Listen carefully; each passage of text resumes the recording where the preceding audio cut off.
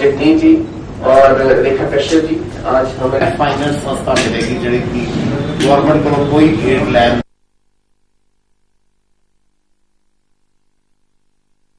सबसे पहले मैं आप सबका बहुत बहुत स्वागत करता हूँ इस प्रेस कॉन्फ्रेंस में आने के लिए आपने टाइम निकाला हमारे लिए और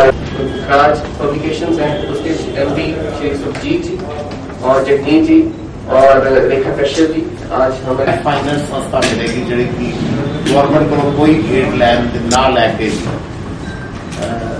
ਚੈਰਿਟੀ ਵਾਸਤੇ ਇੰਨਾ ਕੰਮ ਕਰਦੇ ਲੋਕ ਨੇ ਜਿਹੜੇ ਜਿਹੜੇ ਅਪਾਹਜ ਨੇ ਜਿਹੜੇ ਅਹ, ਅੰਧ ਦੇ ਵਿੱਚ ਜਿਹੜੇ ਦੇਖ ਨਹੀਂ ਸਕਦੇ ਨੇ ਨੇਤਰਹੀਨ ਨੇ ਉਹਨਾਂ ਨੂੰ ਜਾਂ ਜਿਹੜੇ ਕਿ ਵਿਕਲਾਂਗ ਨੇ ਉਹਨਾਂ ਨੂੰ ਅਸੀਂ ਡੋਨੇਟ ਕਰ ਰਹੇ ਹਾਂ। ਆਸ਼ਰਮ ਹੋਵੇ ਚਾਹੇ ਪਿੰਗਲਾ ਘਰ ਹੋਵੇ ਉਹਨਾਂ ਨੂੰ ਟਾਈਮ ਟੂ ਟਾਈਮ ਜਿਹੜਾ ਵਾ ਅਸੀਂ ਆਪਣੇ ਵੱਲੋਂ ਕੋਈ ਨਾ ਕੋਈ ਡੋਨੇਟ ਕਰਦੇ ਰਹਿੰਦੇ ਆ ਜਿਸ ਤਰ੍ਹਾਂ ਪਿੰਗਲਾ ਘਰ ਦੇ ਵਿੱਚ ਪਿੱਛੇ ਅਪਾਹਜ ਉਸ ਤੋਂ ਇਲਾਵਾ ਬਹੁਤ ਸਾਰੇ ਜਿਹੜੇ ਕਲੋਜ਼ ਨੇ ਉਹ ਹਰ ਸਾਲ ਅਸੀਂ ਸਰਦੀਆਂ ਦੇ ਸ਼ੁਰੂ ਦੇ ਵਿੱਚ ਕੰਬਲ ਔਰ ਕਿ ਅੱਛੇ ਘਰਾਂ ਦੇ ਸਾਡੇ ਅਹ, ਵਿੱਚ ਆਉਂਦੇ ਆ। ਉਹਨਾਂ ਦੇ ਨਾਲ ਬਿਠਾ ਕੇ ਪੂਰੀ ਐਜੂਕੇਸ਼ਨ ਦਿੱਤੀ ਜਾਂਦੀ ਆ। ਉਹਦੇ ਨਾਲ ਨਾਲ ਉਹਨਾਂ ਨੂੰ ਯੂਨੀਫਾਰਮ ਬੁੱਕਸ ਔਰ ਫ੍ਰੀ ਐਜੂਕੇਸ਼ਨ ਜਿਹੜੀ ਹੈ ਸਾਡੇ ਇੰਸਟੀਚਿਊਟ ਵੱਲੋਂ ਦੇ ਦਿੱਤੀ ਜਾਂਦੀ ਹੈ। ਲੋਕਾਂ ਦੇ ਵਿੱਚ ਇੱਕ ਅਵੇਕਨਿੰਗ ਪੈਦਾ ਕੀਤੀ ਜਾ ਸਕੇ ਜਿਹਦੇ ਵਿੱਚ 5-6000 ਦੀ ਗੈਦਰਿੰਗ ਹੋਏਗੀ ਇੰਨਾ ਸਟਾਫ ਹੈ ਔਰ ਕਲਾਸਿਸ ਪਾਈ ਛੱਡ ਕੇ। ਉਹ ਇੱਕ ਦਿਨ ਦੀ ਤਨਖਾਹ ਜਿਹੜੀ ਆਪਣੀ ਇਹ ਹਾਂਜੀ ਸਰ ਜਿਹੜੇ ਪ੍ਰੋਗਰਾਮ ਕਰ ਰਹੇ ਹੋ ਇਹਦਾ ਕੀ ਮਤਲਬ ਹੈ?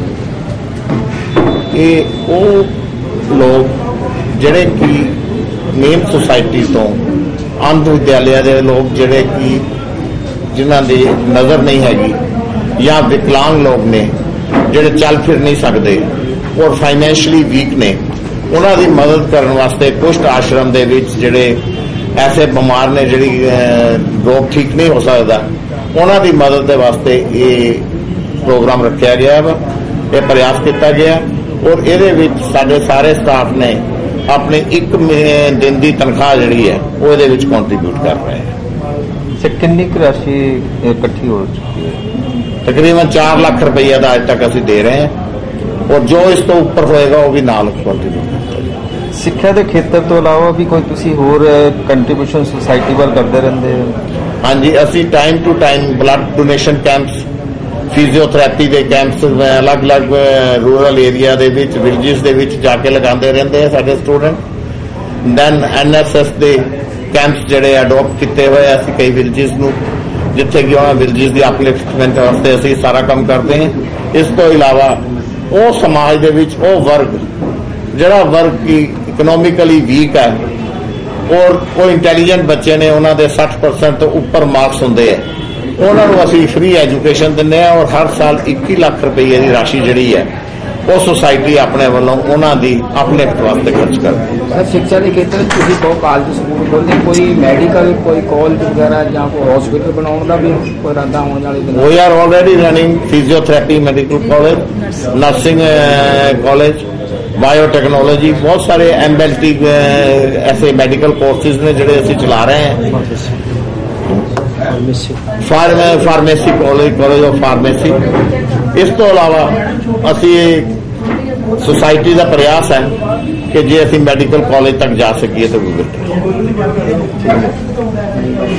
ਸਾਂਝ ਪਿਆਰ ਦੀ ਤੁਸੀਂ ਇੱਕ ਪੁਰਾਣਾ ਪ੍ਰੋਗਰਾਮ ਉਹਦੇ ਬਾਰੇ ਕੀ ਕਹਿਣਾ ਚਾਹੁੰਦੇ ਉਹਦੇ ਬਾਰੇ ਇਹ ਕਹਿਣਾ ਚਾਹਾਂਗਾ ਕਿ ਸੇਂਟ ਸੋਲਜਰ ਐਜੂਕੇਸ਼ਨ ਸੁਸਾਇਟੀ ਪਿਛਲੇ 3 ਸਾਲਾਂ ਤੋਂ ਇਹ ਉਪਰਾਲਾ ਕਰਦੀ ਆ ਰਹੀ ਹੈ ਔਰ ਇਹਦੇ ਵਿੱਚ ਸਾਡਾ ਸਟਾਫ ਜਿਹੜਾ ਉਹ ਮੇਨ ਸਹਿਯੋਗ ਦਿੰਦਾ ਹੈ। ਔਰ ਅਸੀਂ ਜਨ ਜਨ ਨੂੰ ਜਾਗਰਤ ਕਰਨਾ ਚਾਹੁੰਦੇ ਹਾਂ ਕਿ ਉਹ ਵੀ ਇਦਾਂ ਦੇ ਨੇਕ ਕੰਮ ਦੇ ਵਿੱਚ ਹਿੱਸਾ ਦੇਣ ਔਰ ਕੋਈ ਵੀ ਵਰਗ ਜਿਹੜਾ ਉਹ ਪਿੱਛੇ ਨਾ ਰਹੇ ਔਰ ਸਾਰੇ ਵਰਗ ਇੱਕ ਬਰਾਬਰ ਹੋ ਕੇ ਇੱਕ ਭਾਰਤ ਨੂੰ ਜਿਹੜਾ ਉਹ ਸਵਰਗ ਬਣਾਉਣ, ਪੰਜਾਬ ਨੂੰ ਇੱਕ ਸਵਰਗ ਬਣਾਉਣ।